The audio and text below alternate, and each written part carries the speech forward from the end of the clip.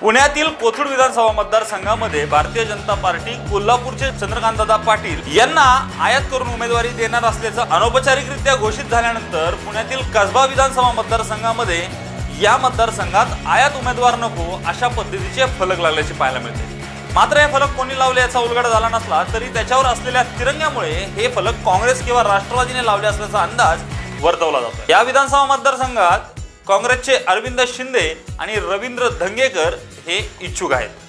रवींद्र धंगेकर यांनी यापूर्वीच्या दोन विधानसभा निवडणुका लढवलेल्या असून दोन हजार नऊ साली महाराष्ट्र नवनिर्माण सेनेकडून त्यांनी गिरीश बापट यांना लढा दिला होता. दोन हजार चौदाला रवींद्र दंगेकर यांनी महाराष्ट्र नवनिर्माण सेनेकडून निवडणूक लढवत तब्बल सव्वीस हजार मतं या कसबा विधानसभा मतदारसंघातून मिळवलेली होती.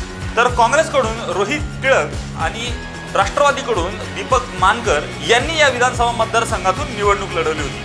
मात्र आता या कसबा विधानसभा मतदारसंघात रवींद्र धंगेकर यांचं नाव काँग्रेसकडून आघाडीवर असल्याचं बोललं जाते त्याच्यामुळे महाराष्ट्र नवनिर्माण सेनेकडून काँग्रेसकडे येऊ घातलेले रवींद्र दंगेकर यांच्या उमेदवारीला बाहेरील उमेदवार म्हटलं जात आहे का असा प्रश्न या निमित्ताने उपस्थित होतोय. तर अरविंद शिंदे यांनी कलम तीनशे सत्तर यावर गेलेलं महानगरपालिकेतील भाष्य हे महाराष्ट्रातच नव्हे तर दिल्लीच्या तख्तापर्यंत पोहोचलं होतं. त्यामुळे अरविंद शिंदे आणि रवींद्र दंगेकर यांच्यामध्ये असलेली ही स्पर्धा या फलकापर्यंत पोहोचली का काय असा प्रश्न या निमित्ताने उपस्थित होतोय. कसबा विधानसभा मतदारसंघात लागलेल्या या फलकांचा आढावा घेतलेला आहे आमच्या प्रतिनिधी सोनाली भालेसेन यांनी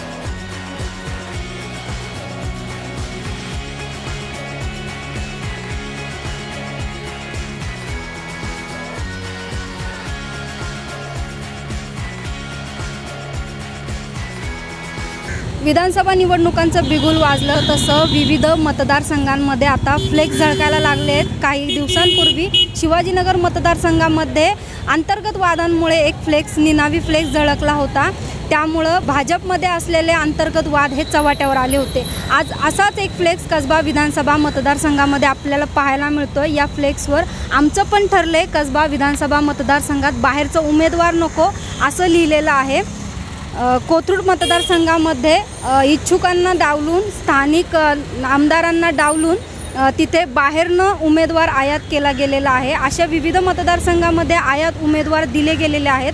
आता कसब्यामध्ये देखील आयात उमेदवार नको अशी मागणी काही कार्यकर्त्यांनी या फ्लेक्सच्या मार्फत केलेली आहे. विधानसभा आता काही दिवसांवरती येऊन ठेपलेल्या आहेत. अद्याप कोणत्याही पक्षाचे अजून उमेदवार जाहीर करण्यात आलेले नाही. आता दोन ऑक्टोंबरला गांधी जयंतीची सुट्टी आहे आणि त्याच्यानंतर तीन किंवा चार तारखेला उमेदवार जर जाहीर केले तर जेमतेम फक्त पंधरा ते चौदा दिवस या उमेदवारांच्या हातात प्रचारासाठी मिळणार आहेत. त्यामुळे आता विधानसभेमध्ये नक्कीच चुरशीची लढाई आपल्याला सर्वच मतदारसंघामध्ये पाहायला मिळणार.